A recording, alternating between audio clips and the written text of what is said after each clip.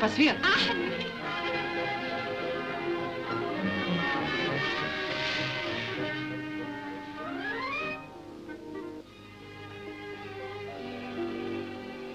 Schade, nicht? Dass man immer wochenlang warten muss auf so einen schönen Tag. Was haben Sie denn da für ein Prunkstück, Hanna? Das hat mir der Vater zum Geburtstag geschenkt. Sehr angestrengt hat er sich aber nicht, der Herr Hofjuwelier Karfreud. Ja, und ich kenne einen Assistenzarzt, der hat sich nicht einmal das Datum gemerkt.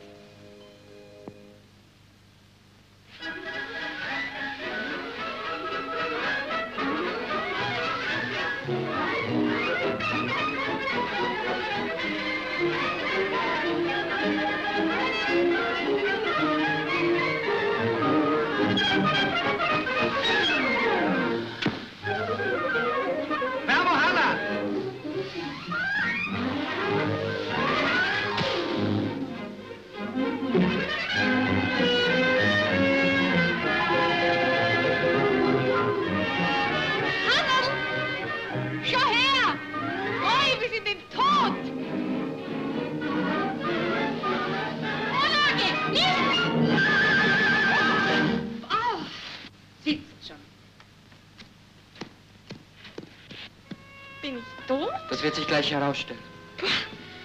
Ist was passiert? Weiß nicht. Tut's weh? Au! Ja! Aua! Der Knöchel? Ja. Eine Zerrung. Peter, Sie sind Spezialist für Herzkrankheiten. Von Mädchenbeinen verstehen Sie nichts. Meinen Sie? Was ist es denn, eine Fraktur? Das glaube ich nicht, aber eine Verrenkung tut auch ziemlich weh. Komme ich jetzt wenigstens in die Zeitung und alpine Unfälle? Nein, unter Tragödie einer Gefallenen kommst. Kinder, jetzt heißt abschnallen und runter zum Goldenen-Hirschen. Au! Ihr müsst jetzt rechts rüber, kommt. Ja, ja. Was ist denn?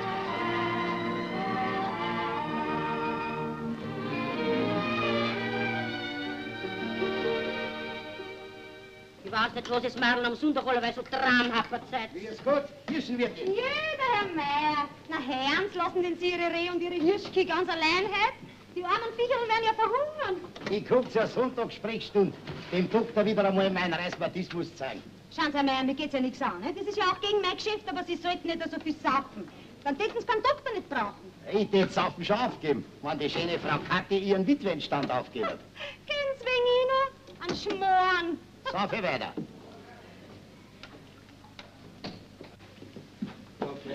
Ja? Dunk!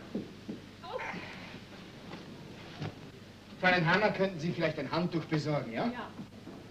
Frau Kathi? Ja? Bitte hätten Sie ein Handtuch oder so etwas für einen Notverband. Meine Kollegin hat nämlich Pech gehabt. Na, sowas. Na, das werden wir gleich haben. Christens! Gehen Sie, geben Sie der Frau Hanna eine von unseren großen Servietten. Dankeschön. Also in der Früh den ganzen Haxen mit Knoblauch einreiben, über den Tag ein Katzenfell ums Knie, vor den Schlafen gehen, einen Marsch oben nach Aussee und dann ohne Doppelliter wieder zurück. Hey. Und gar kein bisschen flüssige Medizin, Schuster, Doktor. Nein, den ich nicht rekommandieren. Aber ein paar neue, bequeme Stiefeletten sollten Sie nicht bei mir machen lassen. Hanna, also eine neue Wendung in der Tragödie unserer Gefallenen. Sie hat meine Hilfe abgelehnt und will durchaus den hiesigen Sportarzt haben. Also, ich mache ihr die Freiheit und telefoniere nach Aussee. Luft kriege ich halt keine. Schuster, Doktor. Besonders wenn ich zwei, drei Wacholder getrunken habe. Hm, noch ein bisschen an Astmann vielleicht. Hm? Vielleicht, ja. Also, dass sowas noch frei herumläuft. Das wäre ein Fressen für unseren Professor, was? Ich find lustig. Ich finde, der schaut gar nicht so dumm aus. Na, für einen Schuster nicht. Also, ich werde schauen, ob ich anrufen kann. Wird hier vielleicht ein Knochendoktor gebraucht, werte Dame? Schneeakzidenzien, das ist ja gerade meine Spezialität. Boris, Haxen einrichten kann er wie keiner. Na, das wird eine Amputation. Sehr schade um mein schönes Bein. Ich habe doch einmal Tänzerin werden wollen. Ja, ja, du hast Tänzerin werden sollen am kaiserlich-russischen Hof. Du, Liesel, Dieser Herr hat schon eine ganze Menge Skiunfälle geheilt. Ja, 117. Als ein Spezialist. Sie kommen her, Sie sind mein Mann. Bedienen Sie sich. So. Machen Sie die Augen zu. Und jetzt nehmen Sie das Ohrwaschel Hand. Jetzt was? Ohrwaschel. Das Ohr. So, und zwicken Sie eine. Fest, fest, fest, fest, fest, fest, fest. Ahu! Jetzt brauchen Sie nicht mehr zwicken. Ja, probieren Sie mal. Es geht. Also telefonieren kann man hier oben leider nicht. Ich fahre hinunter nach St. Leonard. Fräulein Liesel soll ins... Was geschieht denn da? Er hat schon 117 solche Fälle kuriert.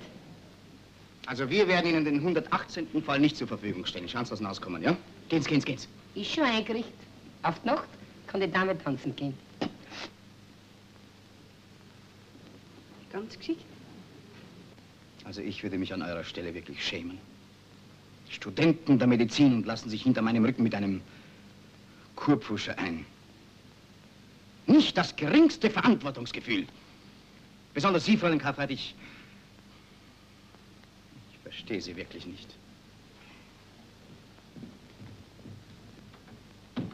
Warum war denn der Herr so fuchtig? Da haben's, Herr Hofrat, und fragen's nicht so viel. Vergeht's gut. Und wenn Sie wieder was brauchen? Dann werden wir Ihnen schreiben. Du, wenn der lustig morgen mit seinem Spezialgebiet wieder anfängt, echte und falsche Medizin, du, dann sag ich's ihm aber. Echte Medizin hin, echte Medizin her. Mir hat ein falscher Mediziner mein klassisches Bein gerettet. Bravo. Natürlich hat der Peter recht. Schließlich, wir sind Studenten der Medizin.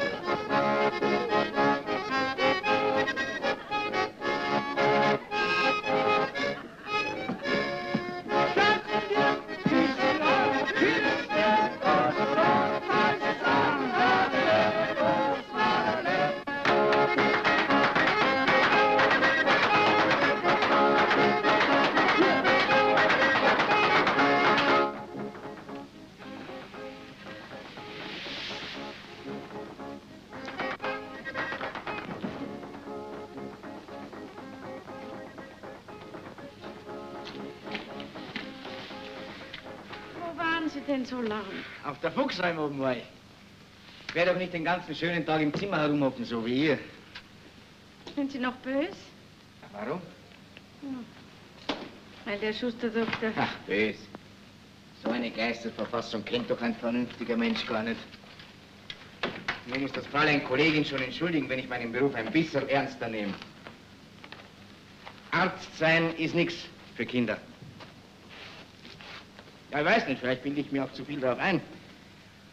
Es war eben nicht so einfach vom Innviertler Bauernturm zum ersten Assistenten der Wiener Klinik. Da hängt man halt an seinem Beruf.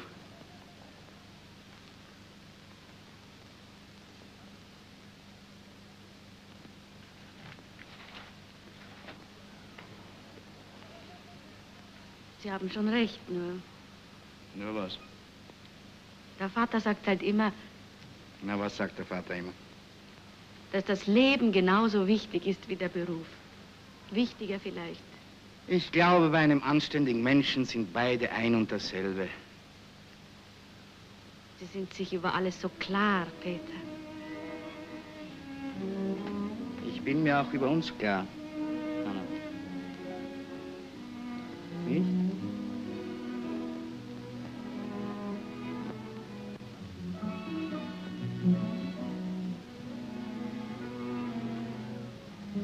Das hat der Erich komponiert, Was? diesen Walzer. Zwei Arm in Arm, zwei, die sind Na, was ist mit den zweiten? zwei, die sind glücklich. Beim Erich.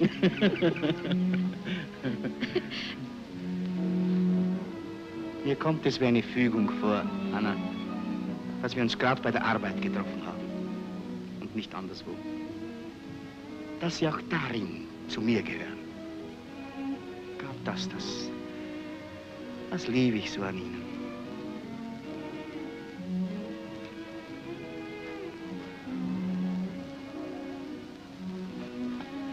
Was ist denn, Hanna? Was haben Sie denn? Sprechen Sie doch. Später einmal vielleicht. Magst du mich nicht, Hanna? Wenn es das ist, dann sagen wir es gleich. Nein, ich mag dich gar nicht. Lass mich nicht fallen. Ich lass dich nicht fallen. Nein, du, du lässt mich nicht fallen.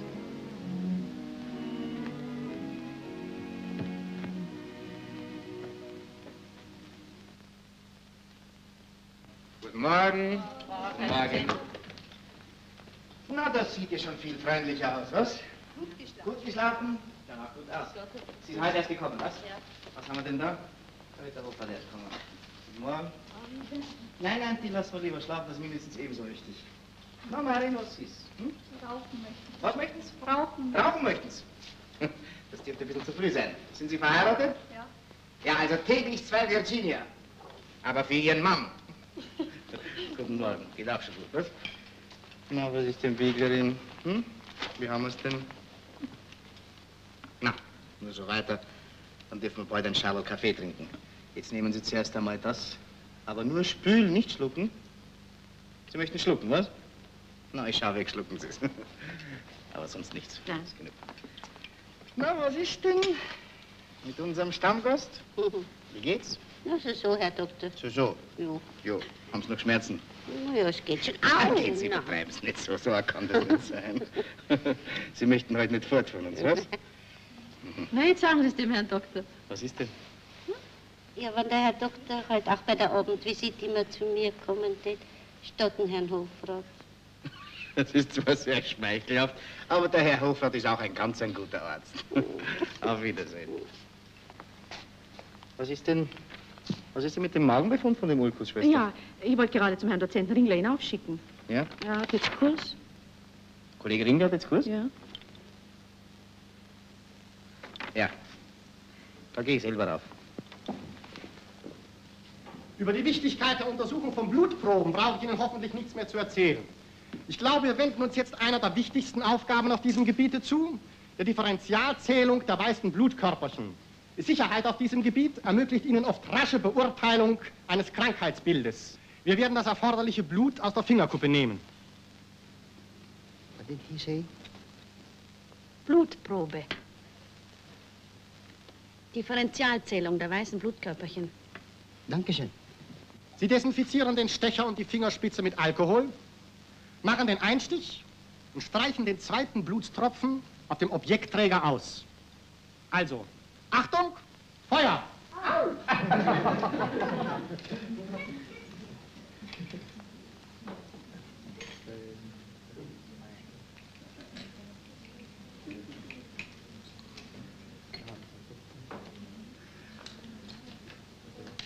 Servus, Ringler. Servus. Geh bitte, schau dir das an, ja? Na, was ist denn das Schönes? Nun, du? Ich kann nämlich kein Blut sehen. Ja, dein Blut kannst nicht sehen, du Feigling, du gib her. Oh! Gerade der Kleinste. Nun, und jetzt mach weiter. Mach weiter.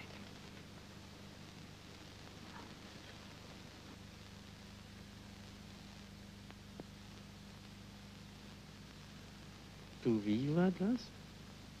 Zwei Arm in Arm, zwei, die sind Glücklich. Hm? Mhm.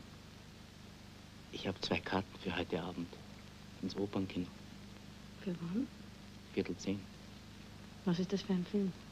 Liebe geht oft seltsame Wege. Eine neue Entdeckung, was? Ja, Grüß dich. grüß dich. Du, wozu sind eigentlich die roten Blutkörperchen rot und die weißen weiß? Damit du was zum Fragen hast. Du, Liesel, Hm? glaubst du, man soll einem Menschen gleich alles sagen? Alles, was mit einem los ist? Einem Menschen? Das heißt also einem Mann? Hm. Nie. Ein Mann hat doch gar keinen Anspruch auf Aufrichtigkeit. Und darauf beruht doch gerade das harmonische Zusammenleben. Na, und wenn er dann später selbst draufkommt, dass du ihm etwas Entscheidendes nicht gesagt hast? Bis dahin musst du ihn schon so unterjocht haben, dass es ihn direkt freut, wenn er dir auf was draufkommt. Na, Männer sind doch Entdeckernaturen. Studienrat Waser, mathematische Schularbeit, entsetzliche Erinnerungen. Grüß dich, Heinrich. Welche Ehre, Herr Professor Waser. Warum bist du denn so offiziell heute? Suchen Sie mich, Waserl? Ja, ich will ein äh, paar Präparate abholen für unser Gymnasium. Und mein ehemaliger Herr Klassenvorstand hat nichts Besonderes auf dem Herzen? Ja, du merkst doch alles. Also, ich war gestern, während du in den Bergen herumgekraxelt bist, bei deinem Vater auf einen Schwarzen und er hat mir wieder einmal sein Herz ausgeschüttet. Er hat die fixe Idee, äh, dass du nicht mehr so zu ihm bist wie früher, äh, dass du ihn vernachlässigst, äh, dass du, bitte, ich wiederhole seinen überspannten Ausdruck, dass du dich seiner schämst. Na, also Unsinn, Waserl. Ich studiere zum Rigorosum, das muss er doch verstehen. Wer von euch beiden recht hat, äh, er oder du, Hanna, das traue ich mir nicht zu entscheiden. Aber eines weiß ich, einen liebenswerteren Charakter als deinen Vater, samt seinem deutschen Dickschädel, gibt es nicht. Seit deine Mutter tot ist, hat er niemanden auf der Welt als dich. Und ich habe niemanden auf der Welt als ihn. Das heißt, Das heißt, Waserl, eine Verständigung zwischen meinem Vater und mir in der Sache kann es nicht geben. Nicht wahr? Aber sonst, Sie wissen doch, wie ich an ihm hänge. äh, du, du, Hanna, äh, kannst du dir vorstellen, dass du nicht mehr Medizinstudentin wärst, deinem Vater zuliebe? Äh, Der Konflikt zwischen euch beiden würde dann sein Ende finden. Du sollst mir nicht sofort antworten. Ich will nur, dass du dir die Sache durch den Kopf gehen lässt.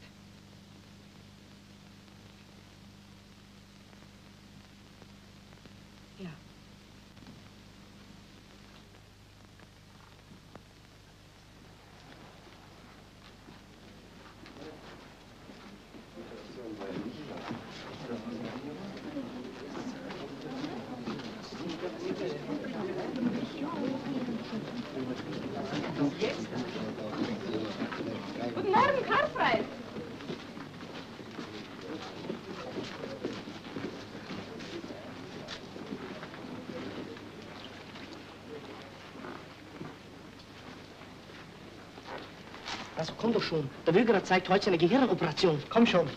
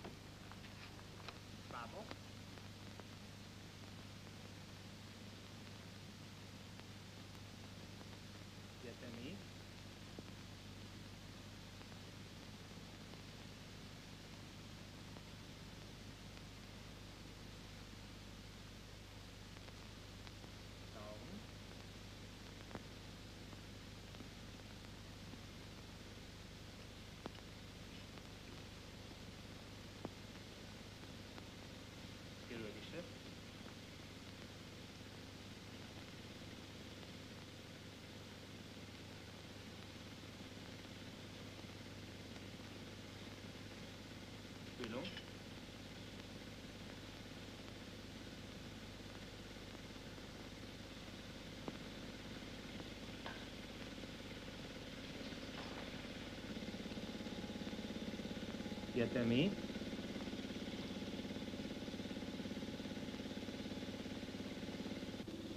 Sagen.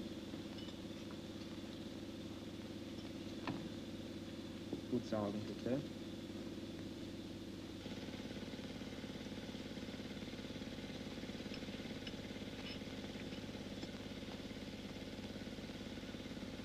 Chirurgische.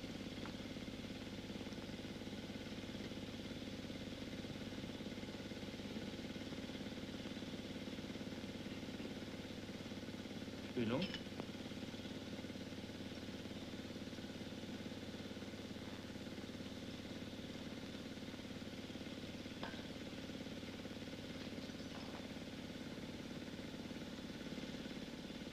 Chirurgische. Halbverfahren.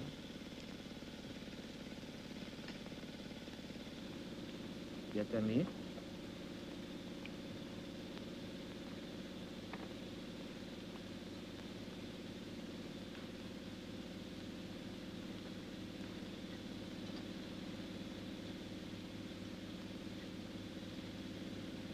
Präparat. Sagen. In knapp sechs Minuten den Tumor extirpiert. Zuckertupfer.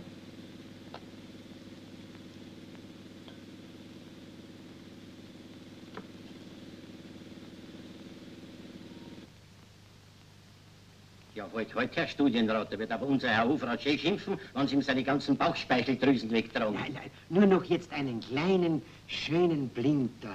Halt. Ja, ja, der gefällt mir. Basel? Ich weiß es schon. No, Nie. Nie werde ich es aufgeben. habe ich auch gar nicht anders erwartet von dir. Und für den Vater, für diesen gewissen Unsinn mit dem Schämen, da habe ich schon eine Kur. Ja, Moment, haben Sie sich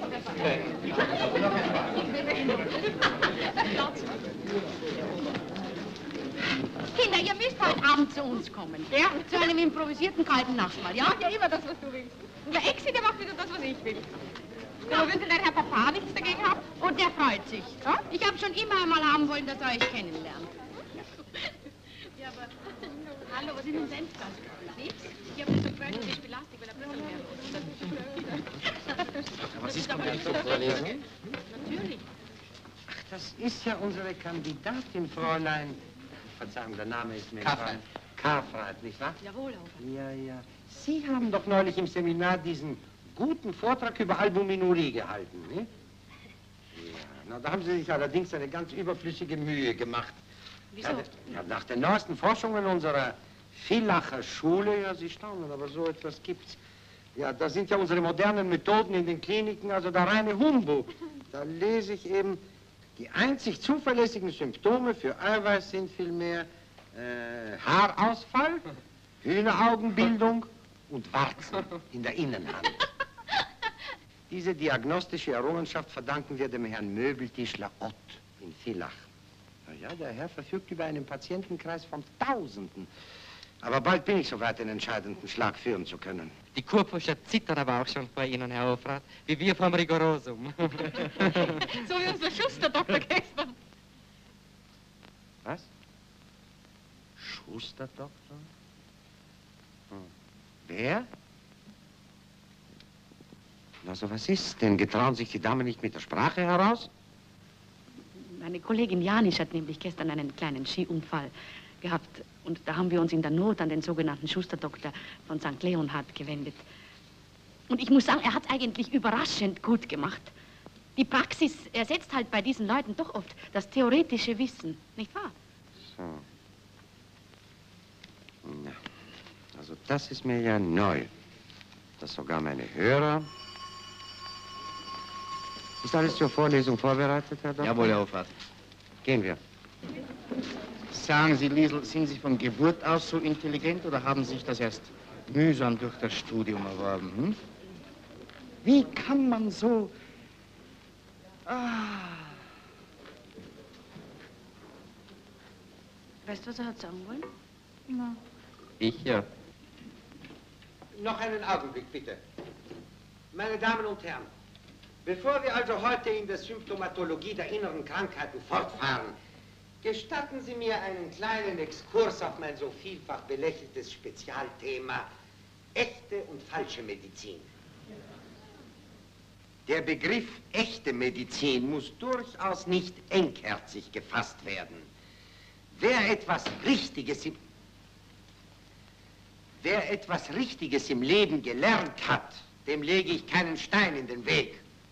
Aber was diese internationale Kurpfuscherbande betrifft, so vergegenwärtigen Sie sich bitte, dass die Wissenschaft vor allem das Wohl der Gesamtheit im Auge hat. Die Statistik spricht auf allen Linien für uns Ärzte. Ich erinnere Sie nur an die ständige Zunahme der durchschnittlichen Lebensdauer, an den Rückgang der Säuglingssterblichkeit, an die moderne Chirurgie, an die moderne Hygiene und so weiter und so weiter. Als es galt, Europa in einem vierjährigen Krieg vor Seuchen zu bewahren, wo waren da die Herren Kurpfuscher? Trotz alledem laufen dem Kurpfuscher von Tag zu Tag mehr Patienten zu. Wir wissen warum. Der ungeduldige Kranke verlangt von dem Arzt ein Wunder, das er nicht wirken kann und läuft zum Kurpfuscher, der meist ehrlos genug ist, dieses Wunder zu versprechen. Dass es aber vor allem die gebildeten Stände sind, die solchen Betrug aufsitzen, das ist ein trauriges Zeichen für die Geistesverfassung dieser Kreise. Wie lange noch werden junge Menschen den Idealismus aufbringen, die harte Schule der akademischen Medizin durchzumachen, statt von heute auf morgen Schwindler zu werden? Zwar ohne Wissen, aber mit Patienten. Wer unter meinen Hörern, wer unter meinen Hörern nicht aktiv an meine Seite tritt, wer meinen Kampf für uns Akademiker und für unsere bedrohte Existenz sabotiert, anstatt ihn zu unterstützen, der wird sich künftig vor der akademischen Behörde zu verantworten haben.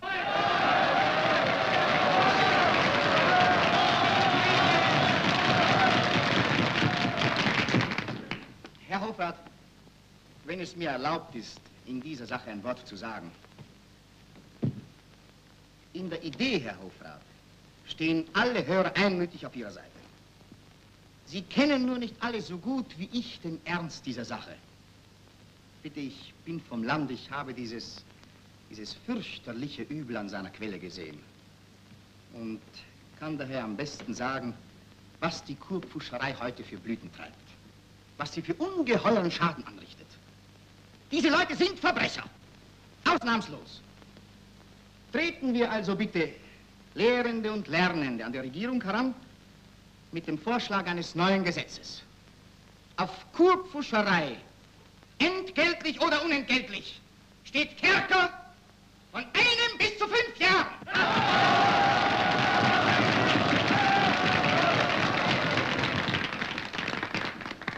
Wie Sie sehen, Herr Hofrat, erfolgt dieser Vorschlag im Namen der gesamten Hörerschaft. Das ist nicht wahr, Herr Hofrat. Was ist nicht wahr? Herr Hofrat, es ist mir schrecklich, dass ich mich der Meinung meiner Kollegen nicht anschließen kann. Ich bin sonst nie, ich spreche auch jetzt nur für mich allein. Na, wozu sprechen Sie dann überhaupt? Ich finde es halt unwürdig. Eine Universität kann doch nicht ganz einfach von sich aus erklären, alle Leute, die mir nicht passen, sind Verbrecher. Sie haben von echter und falscher Medizin gesprochen. Wo ist da die Grenze? Einem Pasteur ist man in den Rücken gefallen. Semmelweis hat als Narr gegolten. Einer, den Sie Kurpfuscher nennen, kann der nicht helfen? Warum? Nur weil er sich keiner Schule beugen will? Ein sogenannter Kurpfuscher kann ein, ein äh, Bahnbrecher sein, ein, ein äh, Idealist, ein kindlicher und äh, gerade darum ein, ein, ein liebenswerter Charakter. Ein liebenswerter Charakter, gell?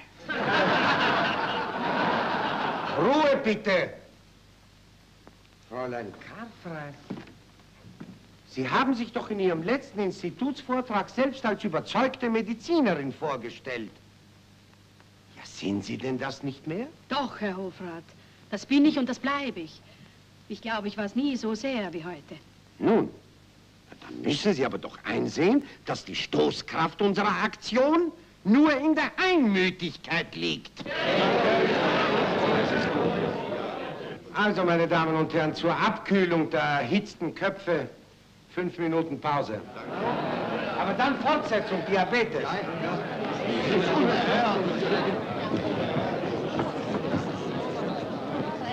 Hanna, ich danke dir im Namen der Kurpfuscher. Komm, komm, komm, komm, komm. Wiedersehen. Okay. Komm, das Heft. Also, Hannah, ich verstehe dich wirklich nicht. Hat das sein müssen? Ich, ich verstehe es wirklich nicht. Peter, ich habe eine Bitte an dich. Reden wir nicht mehr über die Geschichte, ja? Auch heute Abend nicht. Ich möchte nämlich nicht, dass wir ins Kino gehen. Ich möchte, dass du heute Abend zu uns kommst. Vorausgesetzt, dass du jetzt noch mit mir verkehren kannst. Aber geh Unsinn, du weißt doch, wie gern ich komme. Aber ich verstehe es nicht. Es war so ein, so ein merkwürdiger Ton in deiner Stimme, so etwas, etwas Persönliches. Kennst du vielleicht jemanden, auf den sich diese Debatte vorhin bezogen hat? Warum muss man denn gleich deswegen so jemanden kennen? Ja, ja, ja, ja. Synthetische Steine sehen auch gut aus, gnädige Frau. Sind auch viel billiger. Aber leider ich für sie nicht. Schade. Natur lässt sich eben doch nicht ersetzen. Echte Steine, die sehen nicht nur gut aus, die leben. Das würden Sie erst merken, gnädige Frau, wenn Sie sie tragen. Darf ich meinen Mann hereinholen? Er fürchtet sich sowieso immer, wenn ich allein in einem Es ist schon zehn Minuten nach sechs. Wir müssen leider schließen. Vielleicht morgen, Frau. Gut.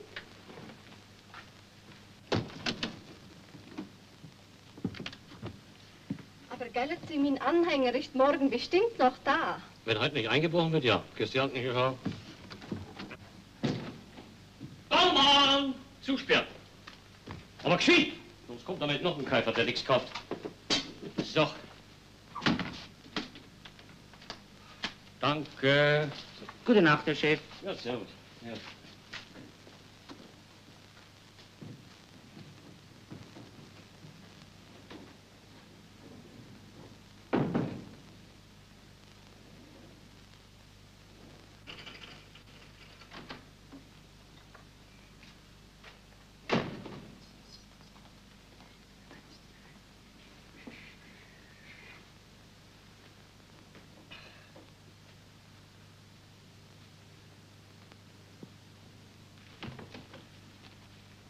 Ist die Hanna schon zurück? Noch nicht.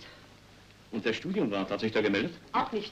Aber das ist ein junges Mädel, die möchte bitten, dass der Herr Kaffreit sie vornimmt, obwohl es nicht angesagt Aber das ist. macht ja nichts. Und oben wartet auch schon ein Herr. Der hat's gnädig. Das ganze Haus hat der freche Kerl uns bald auf den Kopf gestellt. So, das werden wir ja sehen.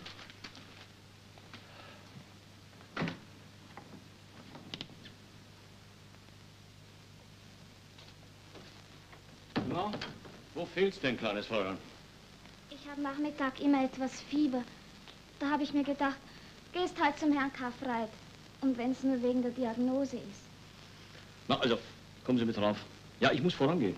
In unserer Familie waren so viele Lungensachen. Aber nur Courage. Courage ist als Heilmittel besser und billiger als die viele Medizinschluckerei.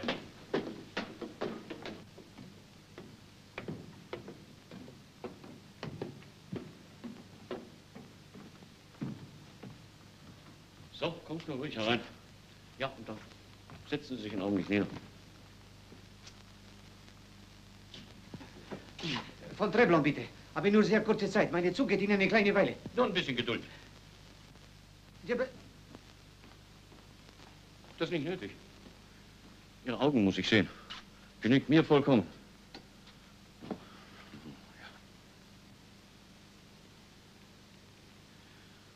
Sie haben als Kind mit der Galle zu tun gehabt.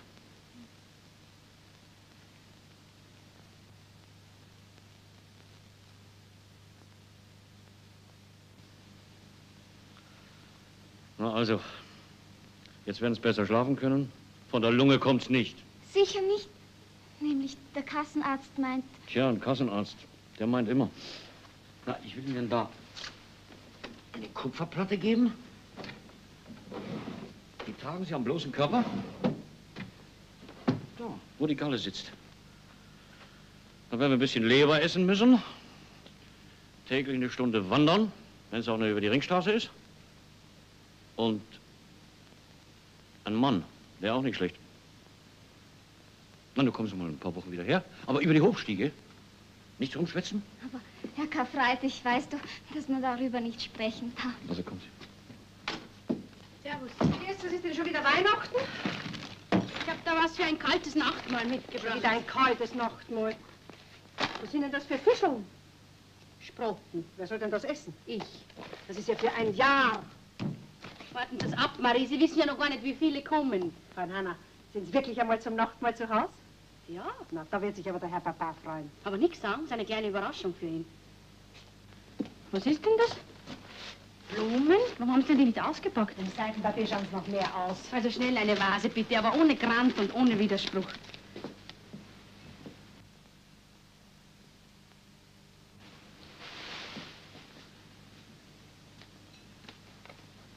Umziehen muss ich mich. Marie! Umziehen? Und zum Decken wird genommen die Damastgarnitur, das Service mit dem Goldrand und die Lobenmeiergläser. Ja, was ist er denn? Oberförster. Oberförster? Gins, wie kommen Sie denn auf sowas? Das passt doch nicht ins Haus. Aber gehen Sie, Marie, Sie sich. Ein Arzt ist er natürlich. Ein Doktor? Na, das ist noch ärger. Sind's das schon? Na Gott sei Dank geht's Ihrer Frau Mama viel besser, als Sie meinen. Ich möchte unbedingt, dass meine Mutter die Nacht ruhig verbringt. Bitte geben Sie mir die blauen Tropfen. Ich muss nämlich heute ausnahmsweise um 10 Uhr weg. Ich lese vor. Im Club der Hitzinger Frauen. Gratulo, was lesen Sie denn da? Meinen Sonettenzyklus. Ersatz für Liebe. Verflucht noch einmal, da werden die Hitzinger Frauen ja allerhand zulernen. Also die blauen Tropfen, Fräulein Musil, sind kein Himbeerwasser. Ihre Frau Mama soll sich nur den gewohnten kühlen Wickel ums Herz machen. Dann soll sie recht intensiv an die literarische Vorlesung denken. Dann schläft sie schon von selber ein. Nimmt der Herr Professor vielleicht einen Moment am Platz? Der gnädige Herr ist nämlich noch droben in der Ordination.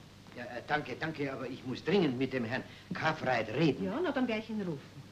Herr Karfreid, bitte kommen Sie herunter. Der Herr Studienrat hat wieder einmal gar kein Sitzfleisch. Sie hören, Fräulein Musil, ich werde verlangt. Herr Karfreid, diese Vorlesung, es ist meine erste, darf ich nicht verlieren. Falls meine Mutter im geringsten unruhig wird, komme ich noch einmal zu Ihnen zurück.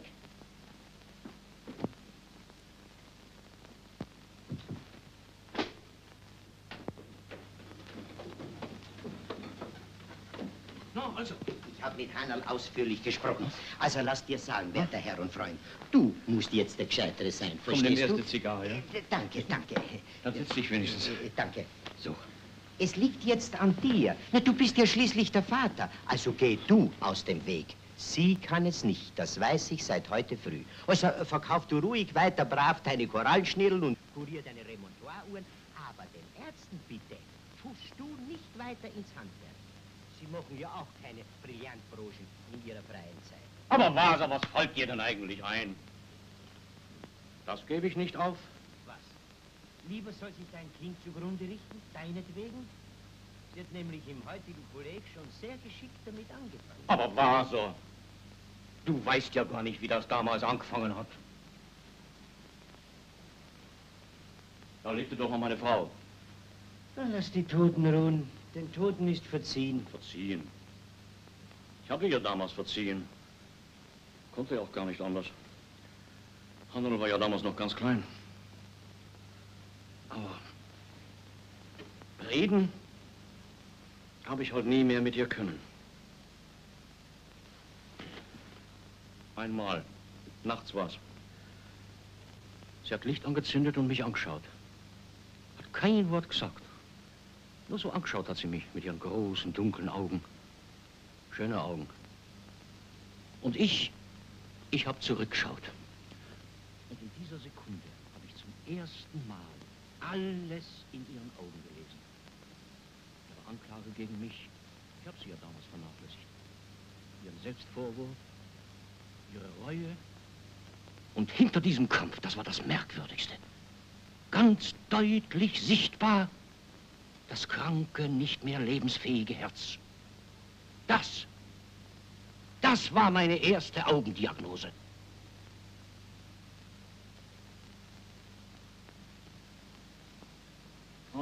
Ach, mein Lieber, das liegt alles plötzlich so offen und klar vor dir da wie ein Spiegel.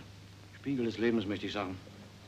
Da brauchst du dich nur drüber zu beugen. Das Licht aus den Augen, das brennt dir alles Unwesentliche vor deinem Blick weg, wie eine Sonne.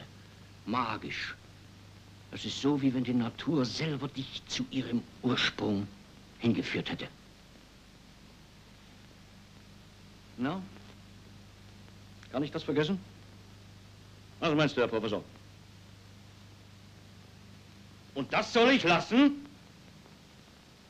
Nie.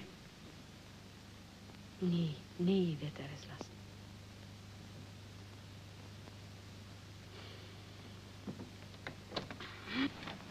Guten Abend. Mädel, du schaust ja wie eine Fürstin aus. Ja, wo gehst du denn hin? Ich bin heute beim Herrn Hofjuwelier Karfreit eingeladen. Und Kollegen von mir kommen auch. Kollegen, da hierher? Warum nicht? Sie sollen den Herrn Hofjuwelier ja gerade einmal kennenlernen, in seiner bürgerlichen Erscheinungsform. Dann ist in Zukunft jeder Verdacht ausgeschlossen. Ja, sehen Sie, Herr Studienrat, ganz so dumm bin ich nämlich auch wieder nicht. Als dann caveant consules. Ne quid res publica detrimenti capier. Ja, ich kann nur sagen, seid vorsichtig. Und spaziert's mit dem Kopf nicht durch die Wand. Wer von euch beiden der größere Dickschädel ist, das wäre einmal eine Doktorfrage. Gute Nacht. Servus.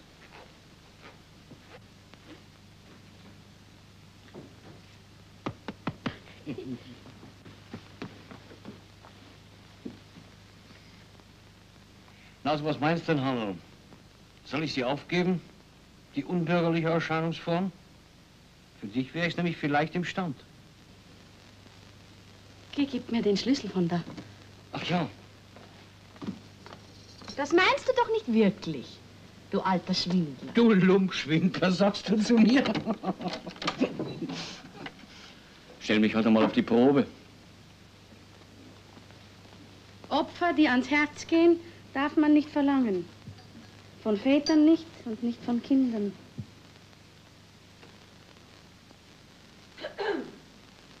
Wollen die Herrschaften wirklich nur das aus dem Papierl essen? Da soll ich nicht wenigstens eine Eierspeis machen. Also gut, damit Ruhe ist von acht Eiern. Ah, kein Essen. Die Marie ist unerbittlich. Was nicht Wiener Schnitzel heißt, ist bei ihr kein Essen.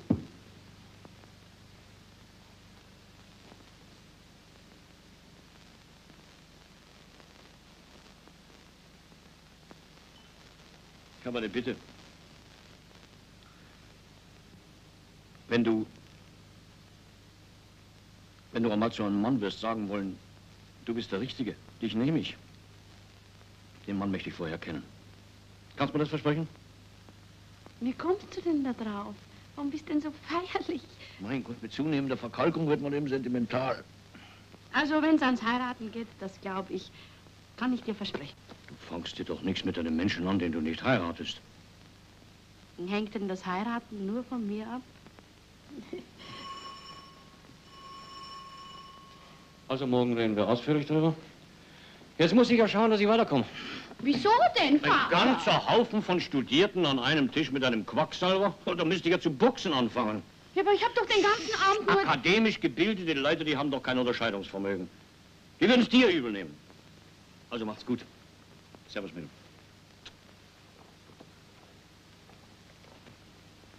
Wozu habe ich...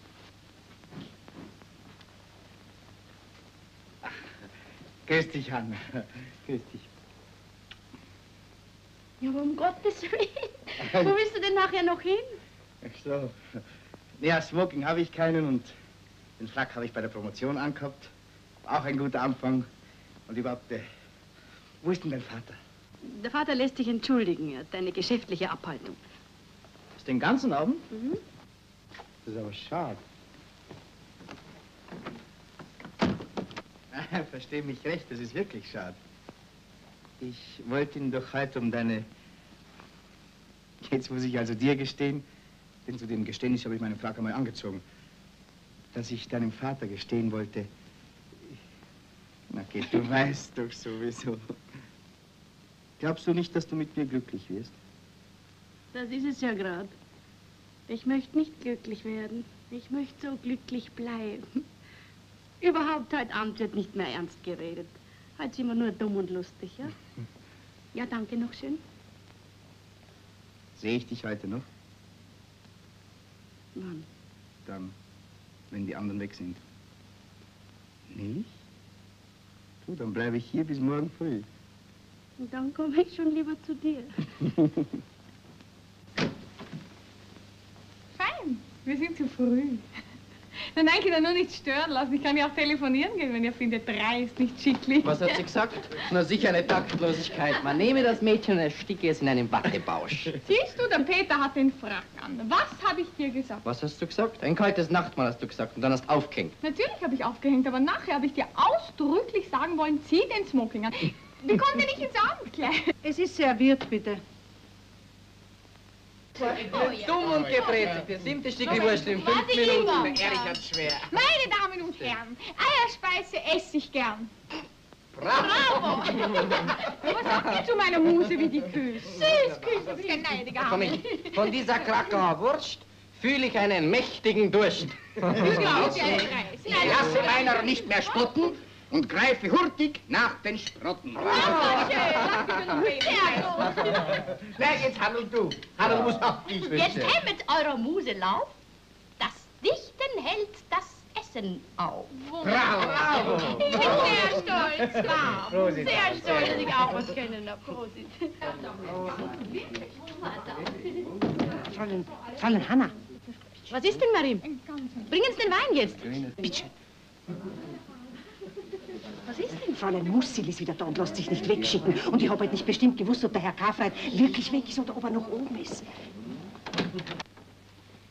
Fräulein Karfreit, was ich schon vorher befürchtet hatte, ist jetzt wirklich eingetroffen. Meine Mutter hat fast 100 Puls. Sie will mich nicht weglassen. Und das Mittel von Herrn Karfreit ist das Einzige, was ihr in ihrem Anfall hilft. Also bitte, ich muss Ihren Vater sprechen. Ja, aber mein Vater ist nicht zu Hause. Vielleicht kommt er später zurück. Es hat ja gar keinen Zweck, dass Sie ihn vor mir verleugnen. Die Marie hat doch selbst gesagt, Herr Karfreit ist droben, in seiner Ordination. Und ich sage Ihnen noch einmal, mein Vater ist ausgegangen. Ich lasse mich von Ihnen nicht wegschicken. Meine Mutter muss die blauen Tropfen haben. Ja, aber bitte hören Sie doch. Was sagt die Dame da? Nichts Unsinn. Esst ruhig weiter. Es gibt da noch eine Sachertorte, eine echte sogar. Ich bin gleich wieder bei euch. Hanna! Also bitte, Sie sehen doch, mein Vater ist nicht zu Hause. Ich muss um jeden Preis sprechen. Vielleicht beim Strasser in Pötzleinsdorf, er macht mal dort manches Mal. Vielleicht können Sie ihn dort erreichen, bitte. Ich werde anrufen. Ich beschwöre Sie, gehen Sie doch endlich. Sie wissen nicht, was Sie mir in dieser Minute antun. Hanna, Hallo? Wer ist Strasser? Ja. Sag mir, was... Was geht denn hier vor? Ich möchte Herrn Karfreit sprechen. Darauf habe ich doch ein Recht, dass du mir jetzt endlich alles sagst. Was soll ich denn noch sagen? Jetzt weißt es doch schon. Er ist nicht da? Danke. Beim Strasser ist Ihr Vater nicht. Aber zum Glück weiß ich, wo die blauen Tropfen sind. Fräulein Musil, die Tropfen sind Gift. Geben Sie sie zurück und ich rufe die Polizei. Nein, ich rufe die Polizei. Unterstehen Sie sich. Ich bin Fräulein Kaffee als Kollege. Das kann man nämlich nicht, was Ihr Vater da tut.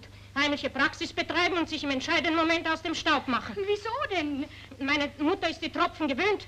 Wenn ihr etwas passiert, so ist das fahrlässige Tötung. Also bitte, wenn Sie mir die Tropfen nicht anvertrauen wollen, dann kommen Sie mit mir. Das wird Fräulein Cartwright nicht tun. Das darf sie nicht.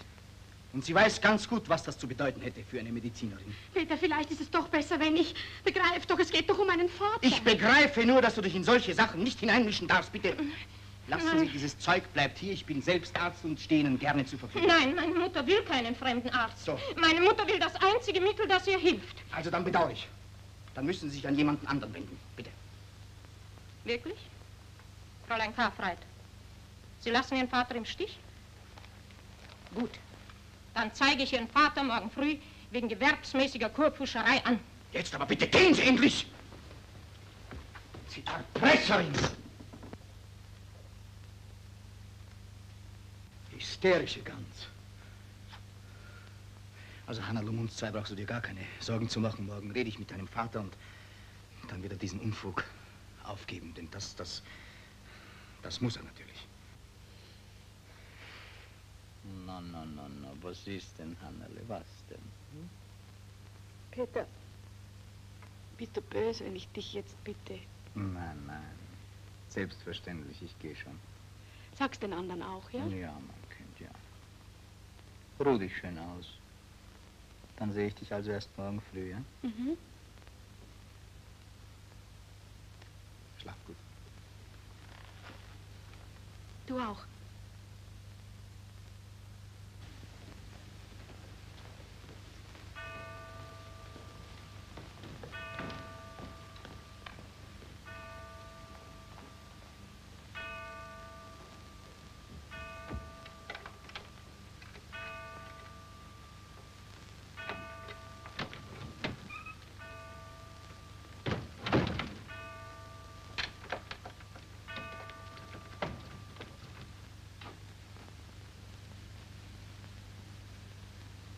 Kann ich jetzt gehen?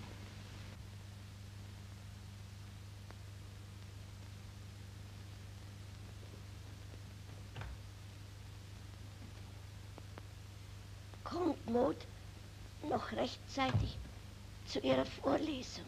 Oh ja, sicher. Danke. Danke, mein Kind. Sie sollten mir nicht danken, Frau Musil. Ich verdiene keinen Dank. Ich mache mir Vorwürfe, dass ich... Dass, dass, dass Sie mir geholfen haben?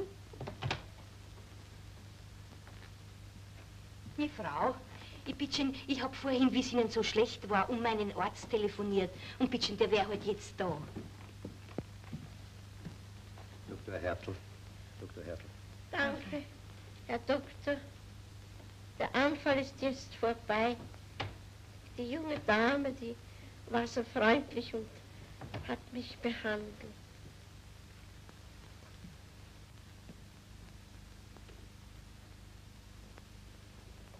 Was äh, war denn das für ein Anfall? Ein stenokardischer. Darf ich fragen, was Sie gegeben haben? Passiflora. Passiflora? Ja, das ist ja gar nicht eingetragen. Kommen Sie denn zu dieser Rezeptur, Frau Kollegin? Ich bin nicht Ärztin, ich bin Medizinerin im sechsten Semester. Ah, Studentin der Medizin und schon praktisch tätig und verschreibt noch dazu verbotene Mittel. Wie war denn der Name, bitte? Cartwright? Johanna Cartwright.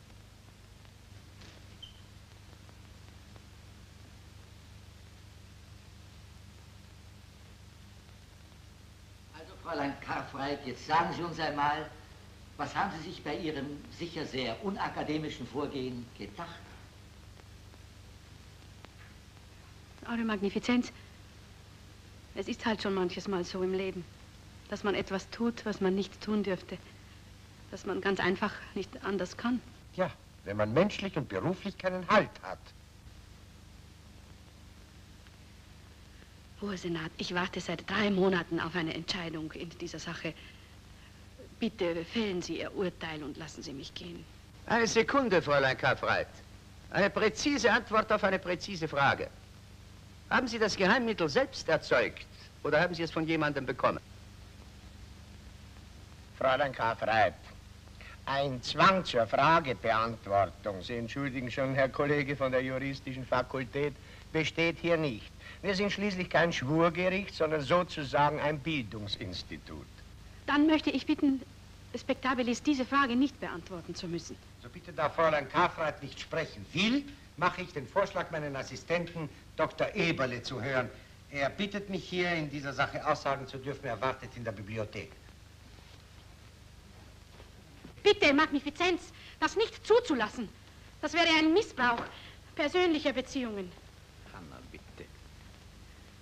Dann bitte mich zu entlassen. Bleiben Sie auf Ihrem Platz. Ein exaktes Verfahren kann doch einer Medizinerin nicht so unsympathisch sein. Hoher Senat, Fräulein Karfreit bringt hier ein Opfer, das auf die Dauer ja doch keinen Sinn hätte. Sie schützt ihren Vater. Ich habe deshalb Herrn Karfreit von der heutigen Verhandlung verständigt. Ich hoffe, dass er bereit ist, für seinen Delikt einzustehen. Aber gereicht habe das Mittel jedenfalls ich.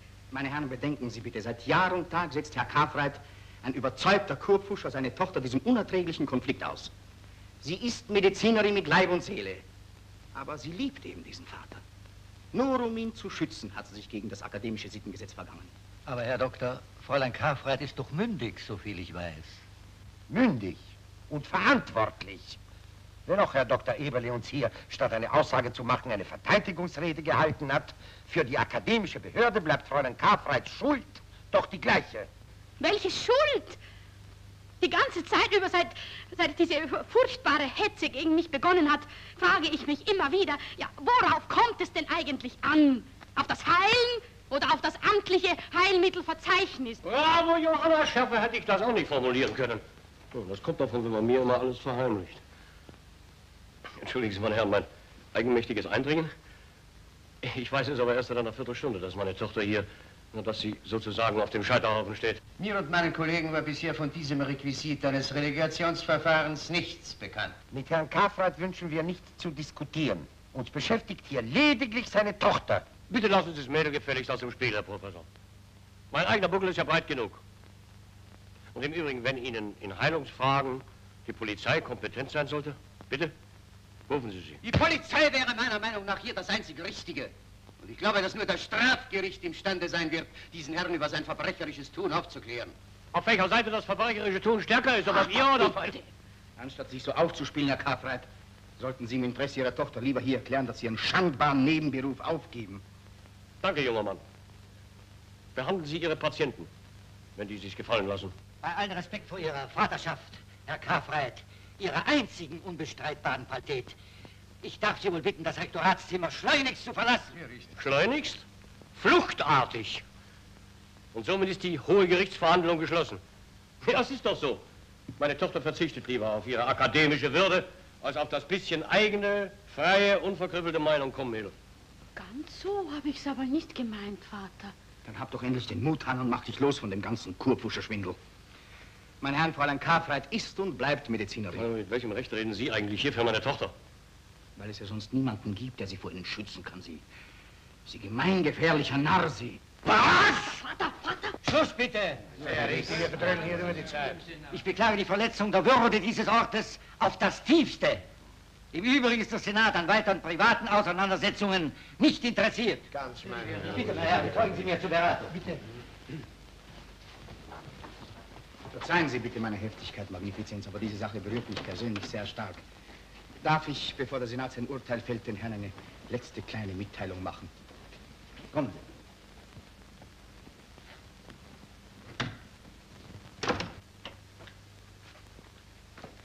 Na, wie war's? Naja, Debatten und Streitereien. Die Hornochsen sind sich nur noch nicht einig, ob sie sie nicht gleich zum Ehrendoktor nennen sollen. Eben. Siehst du mir nicht schon an? Den Glorienschein des Hinausschmisses?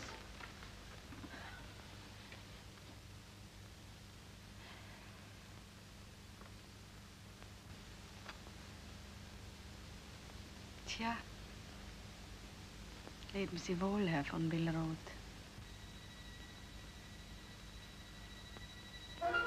Hannah,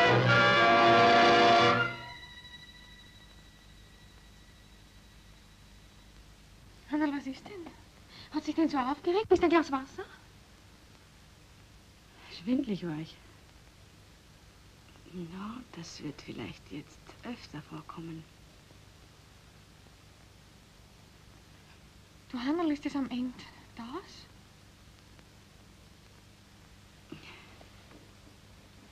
Das wäre ja großartig. Und heiratet ihr denn?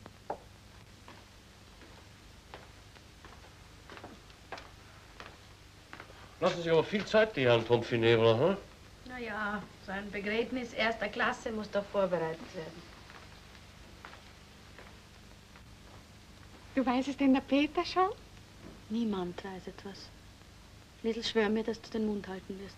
Naja, wenn du willst, dann schwöre ich dir natürlich. Bei was? Bei was schwörst du? Beim höchsten, was ich habe. Beim Exi seiner Karriere als Komponist. Warum denn als Komponist? Weil er doch heute eh durchfliegt. Na, was ist? Bist du durchgefallen? Zum dritten Mal.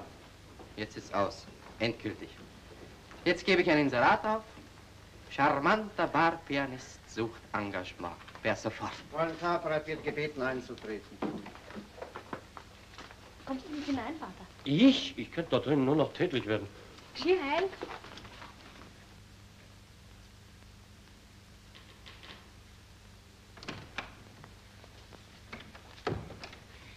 Ich habe dir etwas Gutes mitzuteilen, Hannah. Du bleibst Medizinerin, du kriegst nur einen kleinen Verweis. Ja, wieso denn? Ja, zuerst wollten Sie ja durchaus mit der Kanone schießen, aber dann habe ich eine Art Bürgschaft für dich geleistet. Ich habe nämlich erklärt, dass ich das gnädige Fräulein heirate. Da war der Bann gebrochen unter der selbstverständlichen Voraussetzung, dass du eine Grenze ziehst zwischen deinem Vater und unserer Welt. Was? Das bedeutet doch nicht? Na, sei doch einmal gescheit, Kind. Wie soll denn die Fakultät an den Ernst einer Änderung bei dir glauben, wenn äußerlich alles beim Alten bleibt? Na, Hannarl, erklär deinem Vater die Situation, sag, dass du einfach mit mir kommst und bei mir bleibst.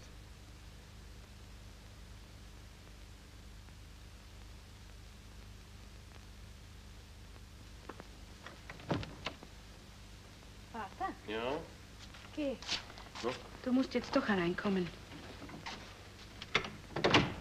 Ja. Also der, Was ist denn, was ist denn da hier los? der Peter ist, Dr. Eberle, ist bereit, mich zu heiraten, wenn ich von dir ganz weggehe.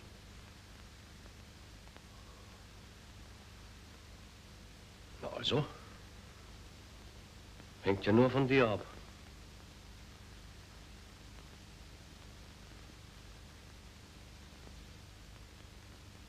Du willst also wirklich, dass ich wähle zwischen meinem Vater und dir. Es gibt doch nichts anderes, Hannah. Und du glaubst, dass man das von einem Menschen verlangen kann? In unserem Beruf gibt es nicht eine Stunde ohne den Mut zu einer solchen Entscheidung. Servus. Bleib, Vater. Ich glaube nicht, dass ich mit dir gehen kann, Peter. Ganz einfach, weil du mich ja nicht liebst. Ich? Du meinst, dass du es tust, aber in Wahrheit liebst du ja nur, nur deinen Beruf. Was für ein Leben hätte ich da in drei Wochen bei dir, Peter? Hannah, überlegst du dir auch, was du da zusammen redest? Ich kann nichts mehr überlegen, ich fühl's nur. Was denn? Was fühlst du, Hannah, was? Nichts. Gar nichts mehr fühle ich. Seit ich dich so anders vor mir sehe. Na, dann ist es wohl am besten, du siehst mich überhaupt nicht mehr. Von mir hörst du nichts mehr, Hannah. Bis du kommst und sagst, ich habe dir Unrecht getan, verzeih mir. Herr Doktor, da werden Sie mal lang warten müssen. So. Und jetzt ist Schluss. Weißt du was? Jetzt fährst du ein bisschen weg von Wien. Hm? Fahr nach München. Fahr nach Lausanne. Na, da gibt's ja auch medizinische Fakultäten, wenn du sowas durchaus zum Leben brauchst. Und die dort, die kümmern sich ein Schmarrn um das, was die da drinnen dir hier angetan haben. Komm, Mädel.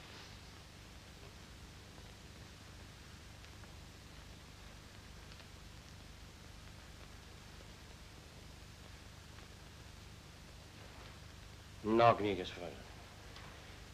Freuen sich, gnädiges Fräulein, schon ein bisschen auf die Zeit, die jetzt für Sie kommt? Was hast du denn? Na, Vater, Woran denkst du denn? du als halber Doktor, du müsstest doch eigentlich merken, woran ich jetzt denken muss. Ach ja, ob ich die gute alte Frau Musil jetzt weiter behandeln soll. Ja, Genau daran habe ich gedacht. Ich sag's ja immer, den wahren Einblick in die weibliche Psyche haben nur die großen Naturärzte.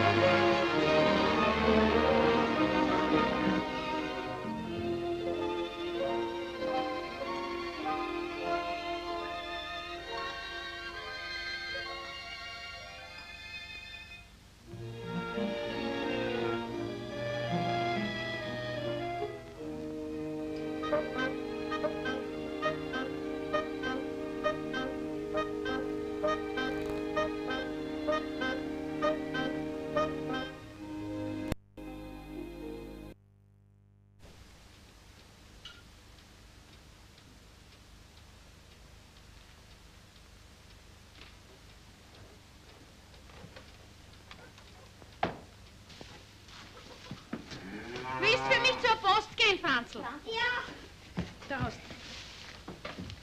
Fräulein Liesel Janisch, Wien, sind 24 Groschen. Ja.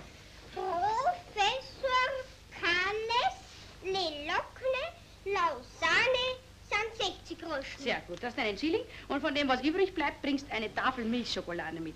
Für die Maridel. Wo ist denn? Na, beim Kalbel ist heute am liebsten der Patscherte Frotz.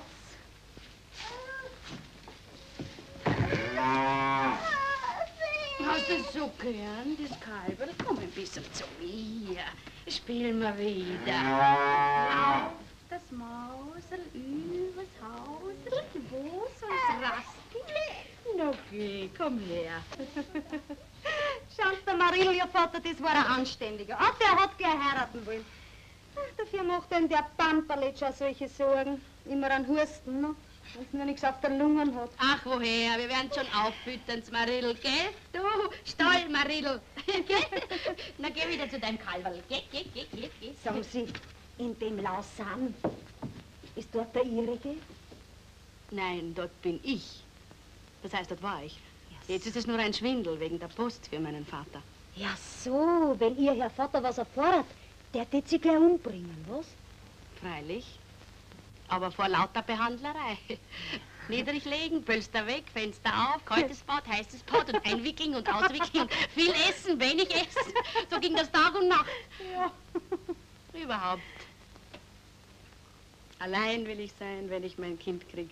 Ganz allein. Recht haben Sie. Ein Kind braucht keinen Vater, das glauben nur die Stadtleute. Naja, vorher braucht man schon, nicht? Aber nachher. Aber, sind Grenreiben. sind Sie leicht was mit ihm? Hat er Sie sitzen lassen, ha? Er hat halt verlangt, dass ich zu ihm komme und quasi an seine Tür klopfe und sag, bitte schön, verzeih mir. Nie wird er das erleben. Von mir nicht.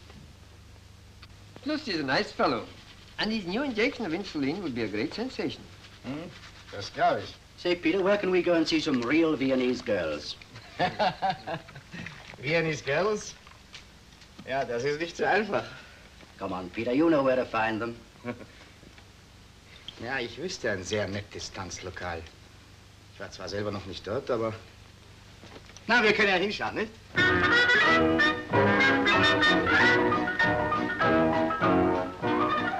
Du Exi, der Peter kommt. Na, endlich einmal.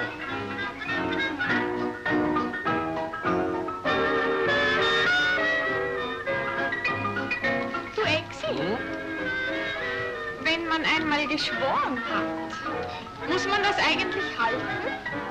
Ein Mann nicht. Eine Frau, ja.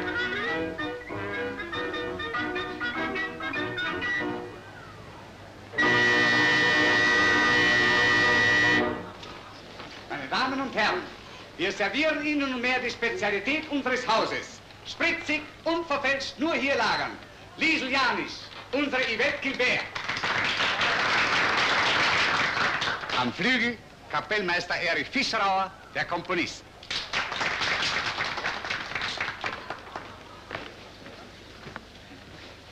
Spiel jetzt zwei, die sind glücklich. Warum? Brauch's jetzt.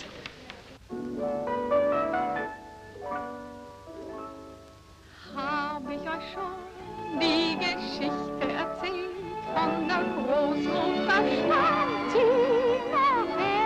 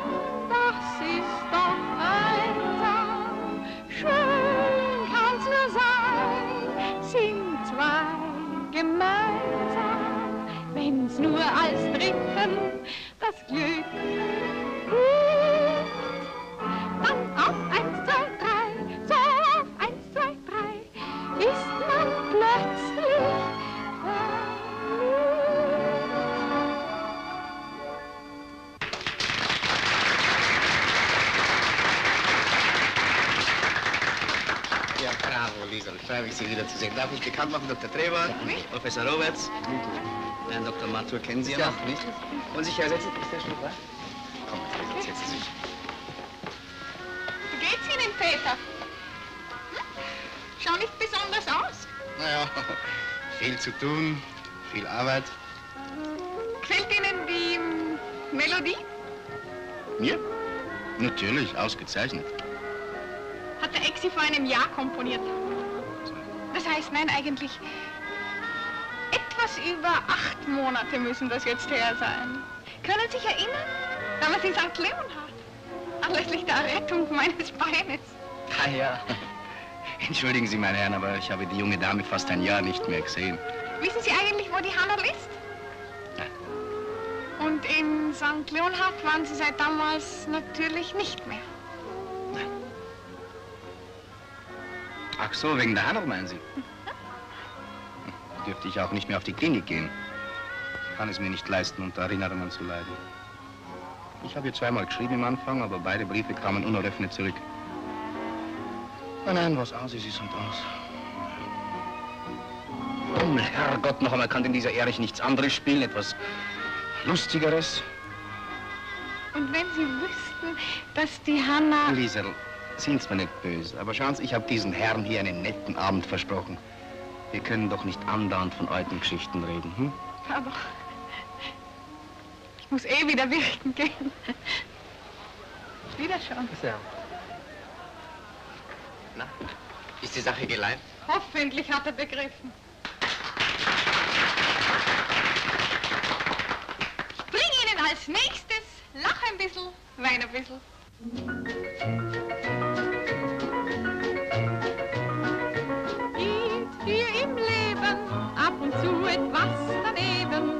Nicht viel darüber nach, sondern lach ein bisschen, lach ein bisschen, lach ein bisschen, lach ein bisschen, doch wird's nicht besser,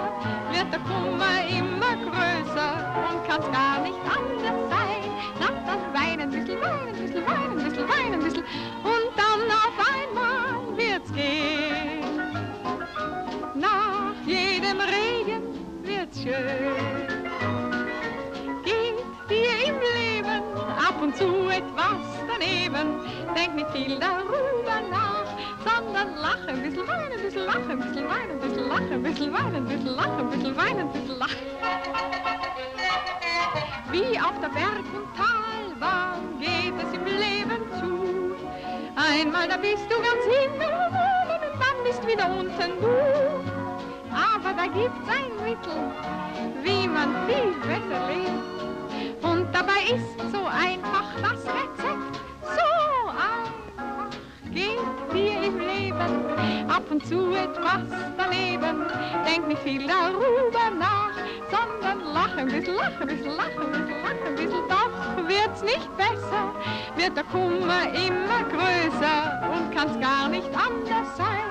Doch dann weinen ein bisschen, weinen ein bisschen, weinen ein bisschen, weinen ein bisschen und dann auf einmal wird's gehen.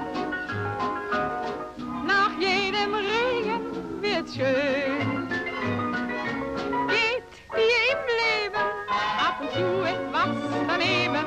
Denk nicht viel darüber nach, sondern lach ein bisschen, weinen ein bisschen, lach ein bisschen, weinen ein bisschen, lach ein bisschen, weinen ein bisschen, lach ein bisschen, weinen ein bisschen, lach.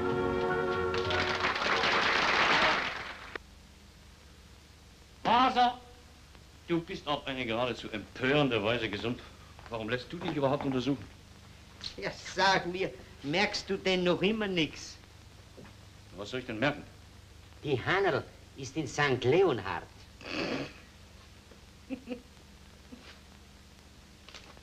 Bitte? Lausanne. Schwindel. Wieso? Unser Turnlehrer hält nämlich in St. Leonhard Skikurs und da hat er ein gewisses Fräulein gesehen, Ipsis oculis. Und da ist ihm vorgekommen, äh, als ob... Äh, Na was denn also? Red schon.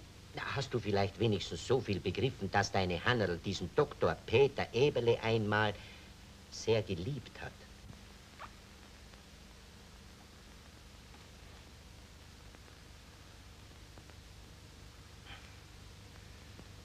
Du hältst doch das nicht für möglich, Wasser. Dass mein Hannerl Mit meinem Todfeind? De, dein Hannerl, dein Todfeind. Ja, gehört alles dir, was? Egoist. Aller Weltsonkel. Da bring ich die um, alle beide. Marie! Marie! Meinst du, dass es ein Bub wird? Ja, nach dem Mendelgesetz, warte mal, meine Mutter und mein Vater und die Eltern meiner Frau. Das heißt, väterlicherseits einpacken. Ich verreise. Fräulein Johanna fühlt sich nicht ganz wohl. Jesus, was hat's denn? Sie hat's ja noch nicht, sie kriegt's ja erst. Also, Ausrüstung Nummer 5. Nummer fünf? Für Entbindungen und Säuglingspflege? Blödsinn, das ist ja auch für Heuschnupfen. Nein, Hanna, gehen Sie bitte schauen Sie nur die Marie an. Ich weiß nicht, was das Ist gut. Sie lässt da nicht suchen. Na komm, lass mich doch schauen. Das Kind fiebert, Frau Kathi. Wirklich? Aber ans Krantig ist wir alle weit. Na, vielleicht hat's zu viel Sterz gegessen, ne? Ich selber traue mir da keine sichere Diagnose zu. Da muss ein Arzt her. Was, ein Arzt? Na, zu was haben wir denn den Schuster-Doktor, ne? Ja, ich hol ein paar Fleck, die werden Brierhaas am Kugel gelegt und das zieht mir die ganze falsche Hitzen aus. Den haben wir da noch nie gehabt, ne? Ja, Wer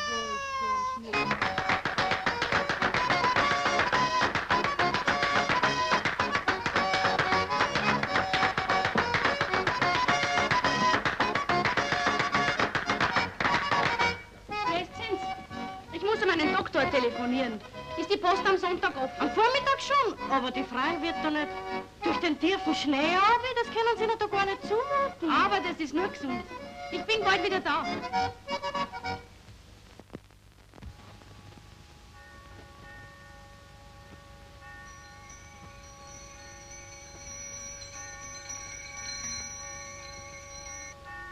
I should say easier than the Engadine, indeed. Sure. Well, haben Sie Wien gesprochen? Wie geht es unserer Sepsis?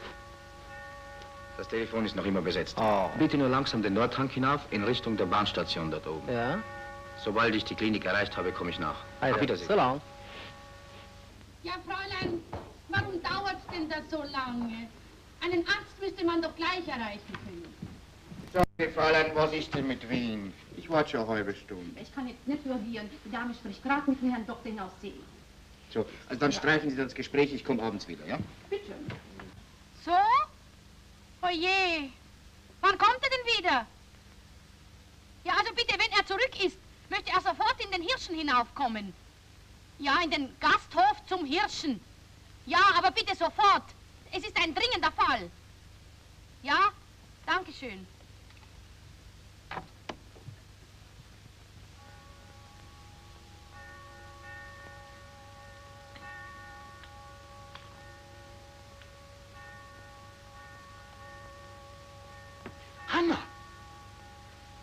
Du hast um einen Arzt telefoniert?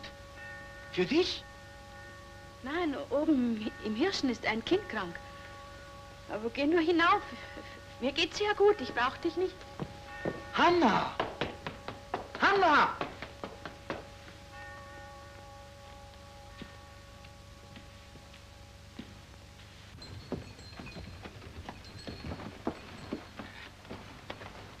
Sind Sie etwa der Stadtdoktor? Ja, Herr Wirt. Woher kennst du mich denn? Es geht ihr nämlich gar nicht gut. Sie hat solche Schmerzen und schlimm schreien tut. Schon? Wo liegt's denn? In der Kammer. Was? Das Kind ist schon da? Ja, es hat äh, ungesunde Hitzen. Entschuldigung, vielmals, Herr Doktor. Und äh, ich meine, aus purer Gefälligkeit. Na komm mal. Na komm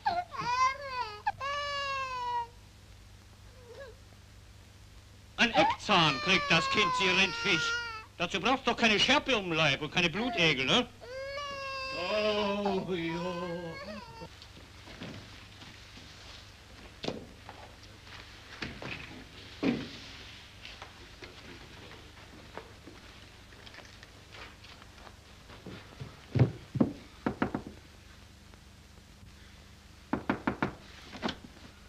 Hanna!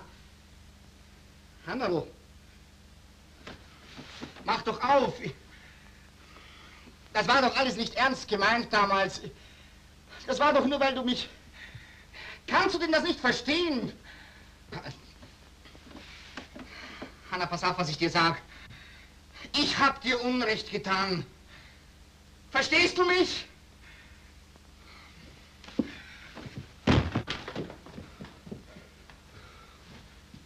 Zum Wütiter Meier? Da fahren sie zuerst über die Brücken, nachher in den Wald aufziehen. Sehen Sie gleich die Futter raufen.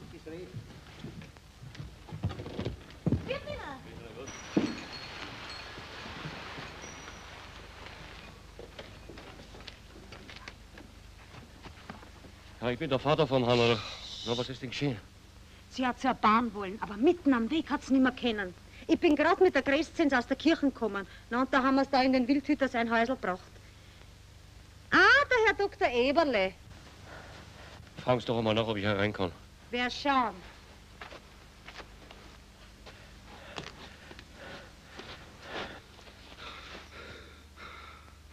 Lassen Sie mich zu Hanna. Ich muss zu ihr, verstehen Sie? Ich bin Arzt. Na, Eben deswegen sollen Sie nicht zu ihr. Sie will sie nicht sehen.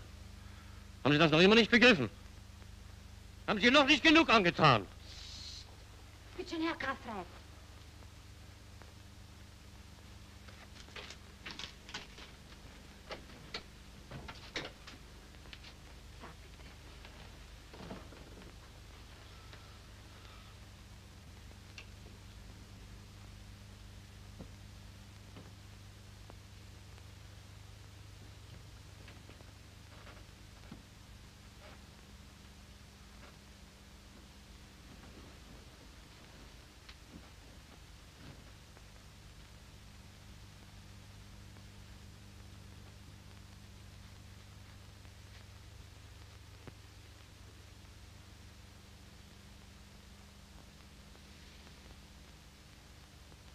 sehr schlimm? Ich habe es mir viel Ärger vorgestellt. Vater, du, ich möchte, wenn mir was passieren sollte und das Kind, so Gott will, gesund ist, dann söhn du dich mit dem Peter aus, damit der Bub damit halt eine Ordnung ist. Ja? Weißt du also schon, dass es ein Bub wird?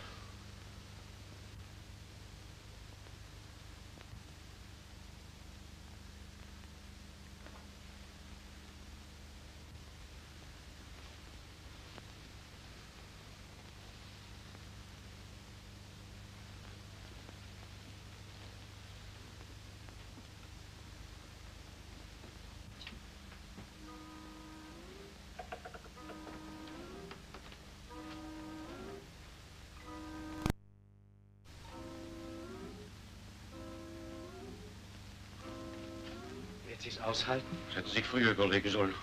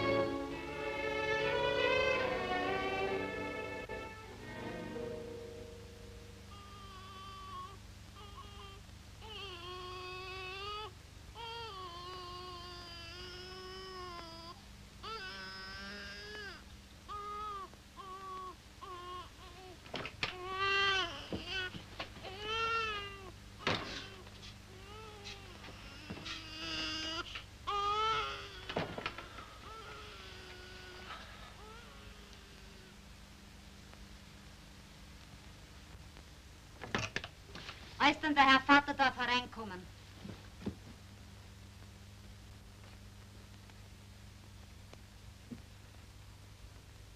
Ein sauberes Madel haben wir gekriegt. Schauen Sie das an.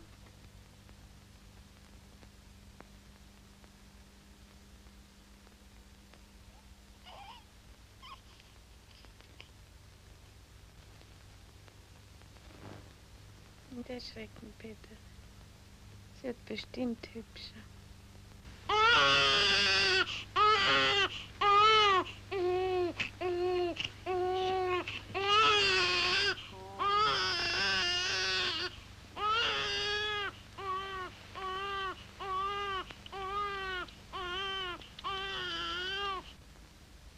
Handel. Handel. Jetzt erst weiß ich. Du weißt nichts. Der Vater weiß nichts. Wir alle zusammen wissen nichts. Nur der dort oben.